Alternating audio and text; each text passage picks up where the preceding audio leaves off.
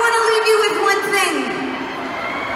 It's so important to love others, but it's even more important to love yourself and don't ever